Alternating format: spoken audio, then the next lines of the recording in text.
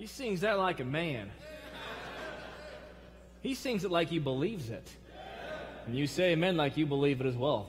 Amen. That was powerful. That was good. I've enjoyed the service tonight. And you're, as a congregation, you're singing well tonight. You lifted up your voices, those songs, How Great Thou Art, and Can It Be? It is well with my soul. Man, it's good to be on Favorite Sunday. For those who aren't able to be here tonight and you're at home, you're missing out, all right? I'll tell you right now, it's different here. It's different. You can hear it, but it's different in here. It's, you can touch it tonight. You can touch it. You have your Bibles open to Exodus chapter number 13. Exodus chapter number 13. Boy, thank you for your faithfulness. All those who are here who watch as well. Boy, God has sure been gracious to us the last few months here at First Baptist Church. We've seen the hand of God upon this, and we've seen folks saved, folks baptized, folks added to the church. He sustained us financially and uh, kept us in good health. God's been good to us. God's been more than good to us. He's been gracious to us. And I am so thankful to serve such a gracious God. So glad to be here, part of First Baptist Church. I'm honored. I'm honored to be pastor here. And I appreciate you, your kindness, and you letting uh, my wife and I serve here. Of course, uh, me as a pastor, her not being a pastor, don't worry about that, all right? You won't come in one day and find out Pastor Doreen there are some churches out there like that. This isn't one of them. You say, well, do you, do you believe that from the Bible, Pastor? I do. But the other thing is, I don't want to split the church. You say, well, well, how'd you split it? Well, when she starts preaching, listen, some of you walking out the back, she's got them some things to say. No, no, I'm just, I'm just kidding. We are blessed. My wife and kids to be here First Baptist Church and to be in this ministry. And truly, it's an honor for us. And we, and we don't take it for granted. We love it. We love it because, one, because God is among us. And if you don't believe God is among us, just come to a couple services at First Baptist Church right now. God's meeting with us right now. He's touching us. Be touched by God. And I love the people here at First Baptist Church. All right, I love the God of the church and I love the people of the church. And uh, tonight we're going to look at again probably the last message on our, our God as a consuming fire, but, but humor me, I may find a few more in here. You have a treat next week for you, but tonight in Exodus chapter number 13, Hebrews 12, 12, verse 29 tells us, For our God is a consuming fire. If you've been here a few Sunday nights, you know where we're going with this, with this concept. He's a God that rekindles, He's a God that refines, He's a God that represents and requires, and He's a God that reveals. And tonight, we're going to find out that He's a God on which we can rely.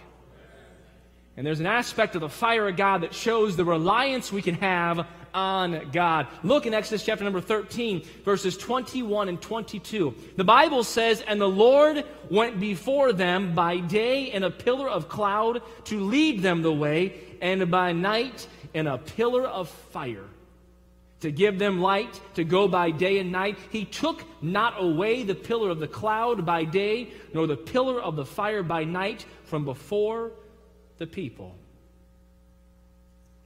You see, God showed himself as a pillar of fire. We don't know exactly what that looked like, but let me tell you some things that it's not. When I was studying for this message, sometimes I'll read some commentaries just to see if I'm totally off base. Just to see, right, Brother Cranston, if I'm just in left field. You know what one, one guy said? They said, you know what? The way God was showing himself as a pillar of fire and a cloud, that sounds a lot like a volcano, that children of Israel worshiped a volcano. Now, I don't know what the pillar of fire was exactly, except a pillar of fire, like the Bible says, but I for sure know it wasn't a volcano. I tell you that right now, just read your Bible a few times. This volcano moved in the desert. That takes more faith than the pillar of fire takes. Now, I know faith can move mountains, all right? Jesus tells us that. Maybe that's what happened. I don't think so. Someone else said this. Well, what the pillar of fire was, was obviously the children of Israel took these sticks and they wrapped a rag around the top and lit them, and it appeared like a pillar of fire. we'll find out a lot of things in heaven, but one thing you won't find out is God appeared a, as a fire on a stick. That wasn't a pillar of fire. This thing, this thing provided light to over a million people. This was not just a fire on a stick. This, this fire, this pillar of fire, provided direction. It wasn't a, a mountain, a volcano just moving along the dirt there. It was a supernatural event from a supernatural God. Our God loves to operate in the natural and the supernatural. But the Bible tells us in verse 22 that he took not away the pillar of the cloud by day, nor the pillar of fire by night. It was something that they could rely upon. Every night when the sun went down, guess what came out and appeared? You got it. Doesn't take a rocket scientist. Pillar of fire. If someone were to wake up in the middle of the night and walk out of their tent, guess what was outside every single night in the desert? This pillar was always there. It was reliable. There are many things that we try to rely upon. The question tonight is do you rely upon God? A simple question, but I believe that this particular characteristic of God reveals to us some provision of God in four different ways that God provided for the children of Israel, that He still provides for us. That this, in a sense, this representation as a pillar of fire can be something that we can learn from and glean from. You see, in this world, there's sometimes we'll make jokes about things we rely upon. Like you rely upon your car. When it doesn't work, you're unhappy. I found these four things that they say you can always rely upon. One is, they said you can always rely upon the thought that if you think you found a free parking space in a crowded Walmart, there's for sure a small vehicle parked inside of it.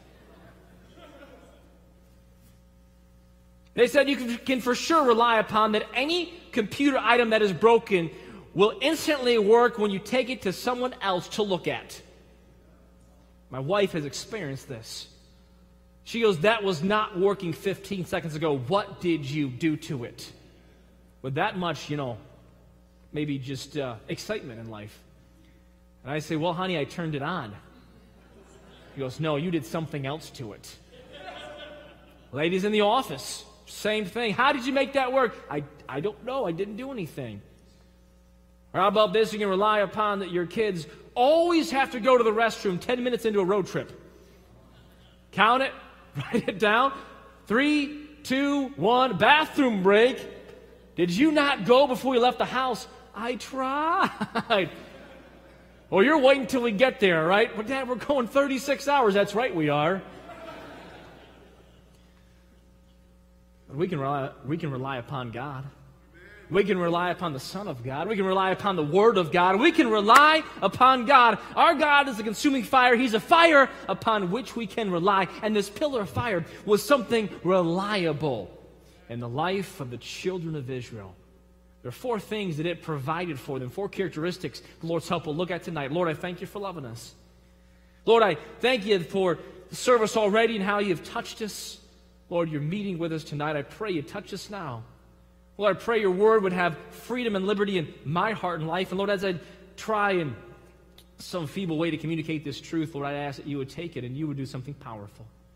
That your spirit would bear witness in our spirit, Lord, that you would touch and change us to be more like your son, Jesus Christ. And Lord, I pray that you'd show us an area or a different way that we're not relying upon you. Lord, may we look to you. In Jesus' name, amen.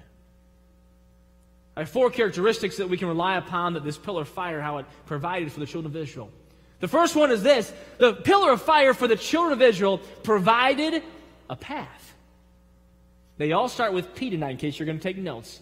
He provided a path for the children of Israel. Nehemiah tells us that. Thou leddest them in the day by a cloudy pillar, and in the night by a pillar of fire. To give them the light in the way wherein they should go. Uh, Nehemiah chapter 9, verse 19 says the same thing to show them light and the way wherein they should go. Psalm 78 says the same thing. In the daytime also he led, he led them with a cloud, and all the night, and all the night with a light of fire. You see, two thoughts about this path.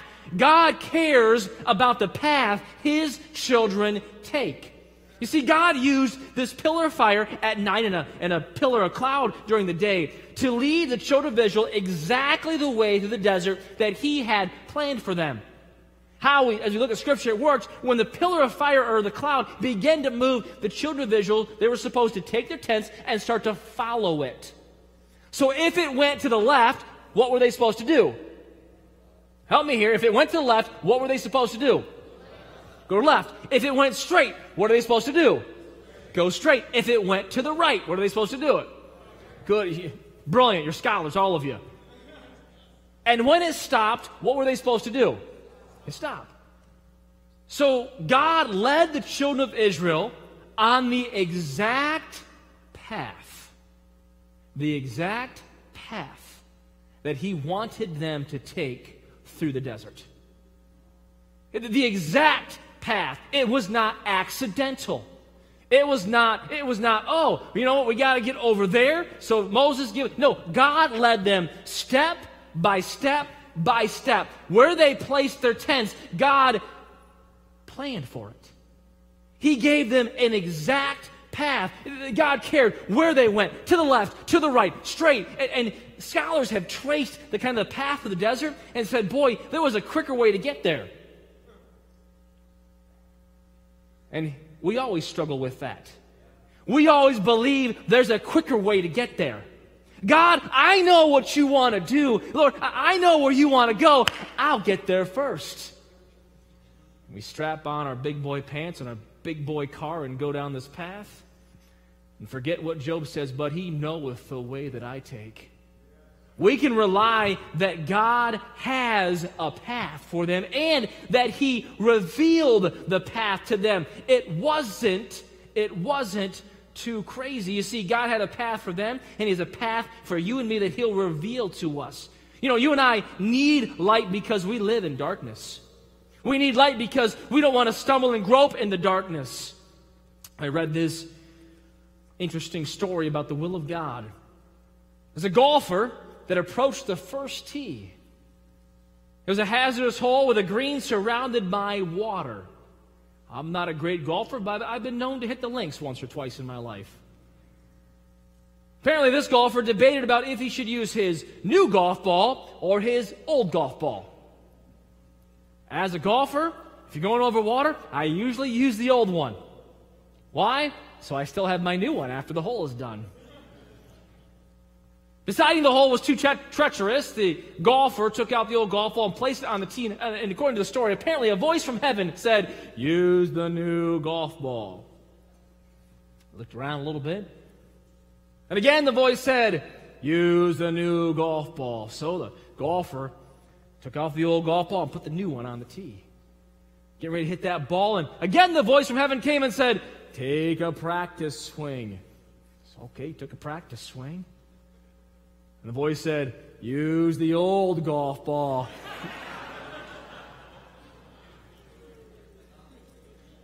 the will of God, nothing more, nothing less. You know, the Christian, a Christian can rely, can rely on the path that God has for them.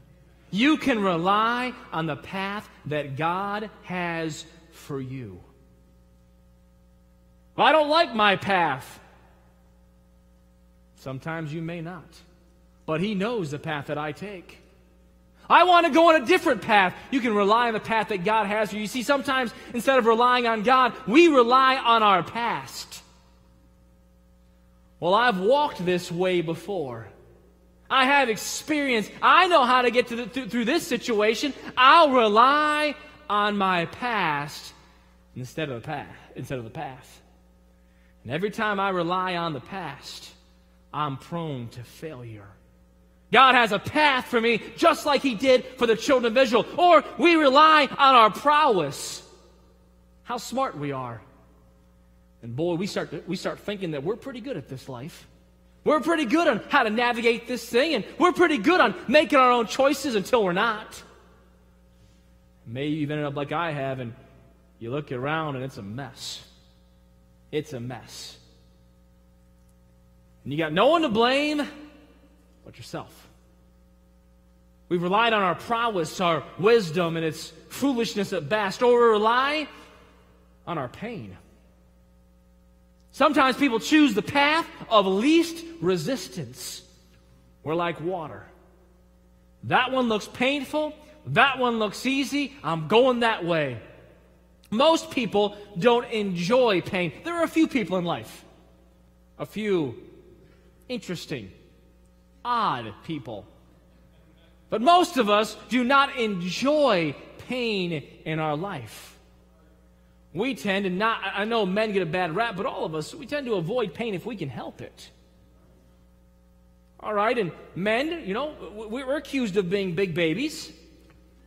But you know what? Sometimes there's pain in life, and we just want to get out of that pain. If we're not careful, we'll make decisions based on what looks to be comfortable. There are times when we have to make uncomfortable decisions. That's called walking by faith. That's called following the Lord. But, but, Lord, that looks like it's a bad path. That looks like it's a harmful path. Lord, that looks like it's a painful path. Lord, I don't want to have to talk to that person because that's going to be painful for me. Lord, I don't want to have to make this commitment because that's going to cause me some discomfort in my life. You know, we can rely upon God as a fire because He has a path for us. But if we walk according to what the pain is in our life, we'll take the wrong path. We'll have missteps. We'll end up in a whole world of hurt. Sometimes it's because of our past or because of our, our prowess or because of the pain. Sometimes we rely on our progress. Well, this is working out good so far. It's like the guy who fell off the 32nd floor of a building. The 16th floor, he was heard to have said, So far, so good. But in our life, we can do the same thing. Look, so far, so good. So far, so good. Look, I know, Pastor, what you're saying about the Bible, but I'm doing this way, and look, I've got it all. I've got a wonderful wife. I got wonderful kids. I got these vehicles. I got this house. I've got this great job. I got a whole lot more. And you said that my way wouldn't work, but it's working. So far, so good. So far, so good. Because one day catches up, doesn't it? We rely on progress, or we rely on our profit. What benefits me? Me first. I'll make a decision, I'll make a path, I'll choose a path that will benefit myself. You see, if we rely on our path, our product will be pathetic. If we rely on our path, the product will always be pathetic. You see, He knoweth the way that I take. We can rely on the path that God has for us. I found this quote. It's not original with me, but I thought it was, thought it was quite convicting. The quote says this Most people don't want to know the will of God in order to do it. They want to know the will of God in order to consider it. Yeah, I had to sit down right then. Inside. That's what we do sometimes, isn't it? Let me just be honest. That's what I do sometimes. Lord, what do you have? Oh, oh that's not the answer I was looking for. That's not the path that I want to take. But Lord, thank you for that option. Is there anything behind door number two? Am I the only one? I know I'm not. I know I'm not. Pillar of fire showed the provision of God's path. And my friend, we can re- rely on the path that God has. You'll never be disappointed in the path that God has for you. I'll never be disappointed in the path God has for me. There is no greater path that I can walk on than the path that God has for me. Young person, there's no greater path than following Jesus Christ. There are those in here who are at the end of the path. Farther along than I am are some young people. And I know what you would say. Follow Jesus, would you not? Follow the path that He has. It is worth it, and it will be worth it all. We can follow the path. The pillar of fire provided a path for them. And we can rely on that path. Something else the pillar of fire did it was provision. The Bible tells us that it gave light by night. It was the flashlight, the nightlight for the children of Israel. I've got young children, they're getting older now. But there was a time when they're real young that these kids liked a light on in the room, in the hallway. They said, Mark, we leave the light on? Now, I don't like light typically when I sleep. My kids do. But what I think, believe happened here is God knew the needs of his children. They needed some light at night in the camp, and you know what? God said, I've got just the thing. How about a pillar of fire? You need to walk to your, your camp? You don't need a flashlight. I'll be the light for you. You see, God knew the needs they had before they knew their needs. What needs do you think you have that God doesn't know about? I've got some bills, Lord. I already know about them, my child. I've got some family problems, Lord. I already know about them, child. I've got some health issues. I already know about them, child. God knows the needs, but God provided for the needs. And we see that throughout the entire journey of the children of Israel. He provided manna and meat and water and warmth and covering and direction. We as Christians could add to that list every single day. What has God provided for you? Some of you, it's incredible health. Others, it's incredible finances. For others, it's incredible family. If we're not careful, we will look at what someone else was blessed with and be ungrateful for what we were blessed with. with.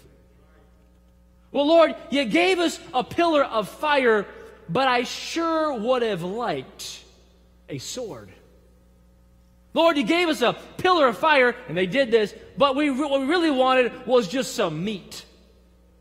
Every single stage, it seems like the children of Israel are just grumbling and complaining and ungrateful. And we as Christians sit back in our, in our nice cars and seats and houses and say, oh, those children of Israel can't believe they're complaining. And yet, oh, a red light. I'm going to be late now. We complain about a red light. We complain about what God has done, and He's been so gracious to us. They got to look up every night and see that God provided for them. We can do that too. I look up and see the ceiling of the bedroom of the house that God brought for us. I look out here and see my kids. God provided for me.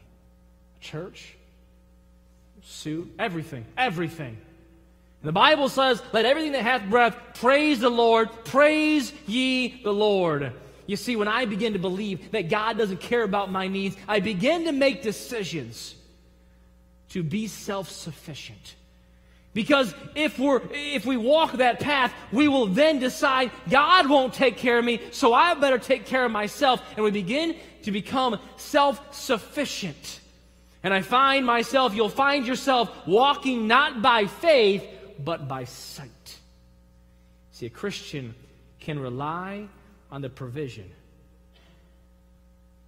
C.S. Lewis said, He who has God and many other things has nothing more than he who just has God alone. What do we need? God. But that's not all God gives to us. That's the blessing of serving Him. That would be more than enough. Yet every day we can wake up and see the wonderful providing hand of God. I see a path, I see provision, and quickly I see the protection of God.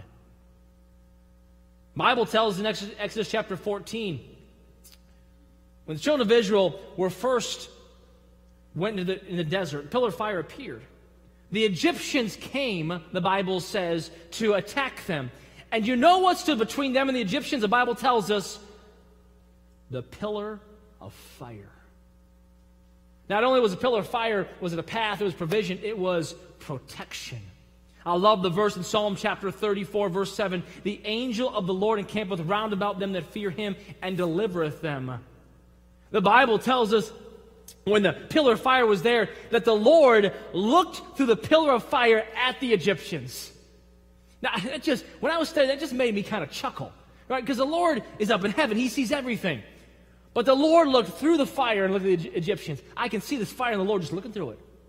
Look at those guys. One more day to the Red Sea parts. Enjoy your last ride on your chariot. The protection of God. When I was studying for this message, I could not help but think about the current times we live in. It seems like there is nothing we can rely upon except more bad news. Seems like there's nothing we can do except wait for the other shoe to drop. And we have the protection of God. There have been Christians who have been deathly afraid of COVID 19. I'm not here to make light of that. I'm not here to make light of that. But I'm not here to let you make light of the protection of God. We don't want to walk foolishly, but we don't want to walk faithless either. And I'm going to live as long as Jesus lives. I'm going to live forever. I'll live on earth as long as He wants me to. Now, I'm not going to be foolish. I'm not going to jump off the temple and, and, and, and test the Lord, all right? That's what the devil asked Jesus to do. But, but we can't live in this fear. Jesus, uh, God, is our protection. He's our protection. He walks before us walking his path, he will take care of us. Have you ever been really close to something really bad? Was a little a few years back. I was driving to the church, driving a little Honda Civic. It was years ago now. Light turns green. My typical response in the green light is pedal to the metal, baby. Hit that thing and drop it, right? I didn't this morning. Thanks, Brother Mark. At least you're honest about that. I know some of the people do the same thing. Hey, don't judge me. I had a motorcycle. And it wasn't a Harley. This particular morning, I was coming to, to the school. Light turns green. For whatever reason, I'd say it was the Lord, I didn't go through the light. I just waited like two, three seconds. And all of a sudden, a waste management truck right in front of the speedway there at Dixie and King comes barreling through the intersection. Maybe you've been in a situation like this. My heart is beating about a thousand beats a minute. And I'm thinking, if I had gone, I was gone. Lord's protection. Lord, and you won't convince me that that was coincidence. You won't convince me that was just happenstance and I got lucky. No, sir, no, ma'am. That's the hand of God in my life. Wasn't my time yet. I'll live on earth as long as Jesus wants me to. Protection. Egyptians came to shut down the Israelites, and God said, I got a pillar of fire here that says you won't do that. They can rely on that. And we can rely on the protection of God. One more characteristic will be done. There's a path, there's provision, there's protection. But the last thing, I think the most powerful description and characteristic the pillar of fire showed the presence of God. It showed the manifested presence of God. Not only could they look out all the time and see it, not only would it lead them on the path they ought to go, not only would it provide for them some light and some heat on those cold nights, not only would it protect them from the Egyptians, they could look outside every single night and know, and know that God was here. You notice I didn't say God was there, God was here he was in their camp. They didn't have to look over across the desert. Oh, God's over there. No, God's right here. And I'm so thankful for the presence of God. I think of Psalms chapter 139 Whither shall I go from thy spirit?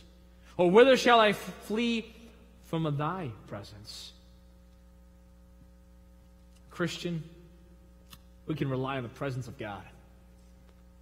Sometimes that's used as a negative thing. God's always watching you, but this is a positive thing. God sees through the shadows. He sees in the dark. He sees in the storm. He sees all the time. God is always seeing and He's always with us. Emmanuel, God with us. I'm thankful for the presence of God.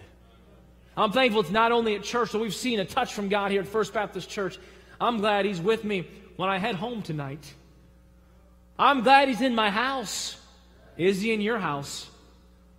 I'm glad when I go to work tomorrow, He'll be at work, God's presence. I can be with Him and He'll, he'll be with me all the time. And the Bible says, if I draw nigh to God, He will draw nigh to me. You see, the pillar of fire, showed that He is a God that we can rely upon. What are you relying upon? If it's one thing I've seen since March, March the 14th, that Christians, talking to Christians now, will rely on a lot of things other than God. Other than God. They rely on something else for the path. They'll rely on something else to provide for them. They'll rely on a stimulus rather than God. They'll rely, they'll rely on uh, protection from somewhere else rather than God. And they've forgotten, it seems, that He's always with us. Pillar of fire. could walk out, see this thing, and know that God loved him, that God cared for him. What are you relying upon? Anything else will be pathetic. Lord, I thank you for loving us. You've been so good to me. Lord, you're a good God. Lord, I pray that tonight you'd search us. Help us to know and understand those areas, Lord, that maybe we're not relying upon you. Just a moment, the instruments we begin to play. We'll stand to our feet. My friend, I wonder if tonight God touched your heart. I wonder if maybe you've turned to something else. I wonder if you've relied upon your mind, your skill. Whatever it is, it's pathetic. Lord, bless this invitation. May our hearts be tender to you. Lord, may we just look to you. In Jesus' name, amen. Instruments play. Let's stand to our feet, head bowed, eyes closed, if you would. Lord's touched your heart. I encourage you to respond.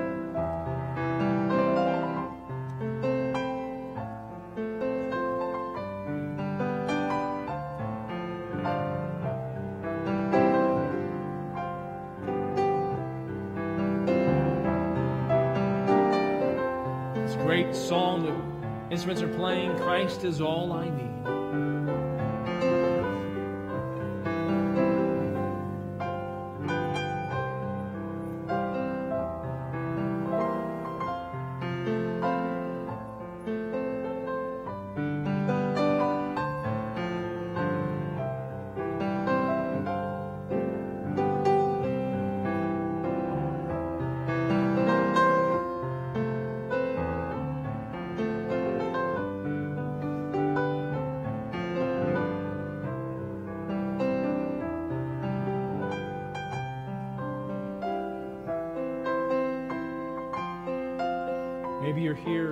Trusted Jesus Christ as your Savior.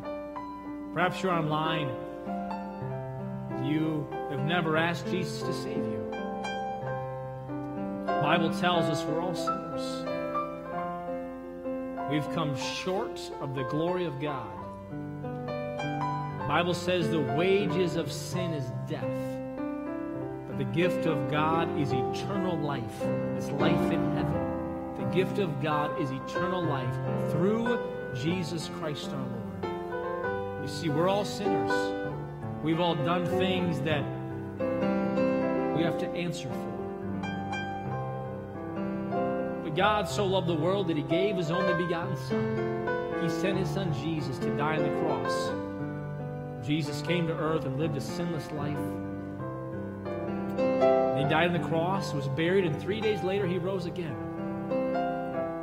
He rose and showed his power over death and the grave and hell. The Bible says if we believe on the Lord Jesus Christ, what does that mean? It means to believe that he died for our sins. We believe that if he that if we trust him, he'll take us to heaven. Believe on the Lord Jesus Christ, thou shalt be saved. For whosoever shall call upon the name of the Lord shall be saved. Be saved from paying for our own sin, saved from going to hell, living a life apart from God. See, we can trust Christ. Maybe You joined us online that you've never trusted Jesus Christ. My friend, you can trust Him tonight. You could pray a simple prayer like this Lord, I know I'm a sinner. I know I deserve to pay for my sin. But I believe that Jesus died on the cross for me, that He was buried and rose again. I trust in Jesus and Him alone. My friend, if you pray that and mean that from your heart, the Bible says that you can be saved. It's not a magic in the a magic words that you say, but it's with the heart that man believeth. If you never prayed, would you pray that now while you're at home, wherever you're at, maybe in a car or on a couch? Lord, I know I'm a sinner. I know I deserve to pay for my sin.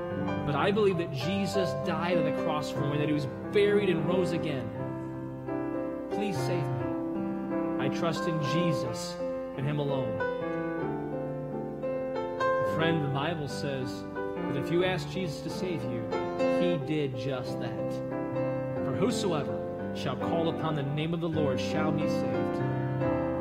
And I'd love to encourage you. If you did that, would you do me a favor?